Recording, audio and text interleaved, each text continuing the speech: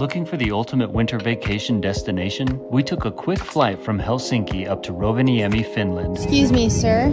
Could you please not take up my seat? Where we found ourselves in the middle of a winter wonderland. We stayed at Apukka resort and checked into our own private glass roofed suite. All right, toboggan boy. This place was stunning. The main floor had everything you can think of, and upstairs, our bed was directly underneath a clear glass igloo.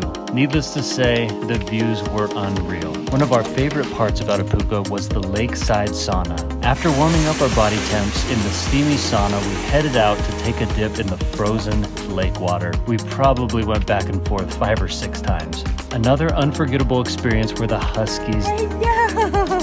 That's a good boy. These eager pups pulled us between pine trees and across snow covered plains on our dog sled, and to top it off, we even got to say goodnight to the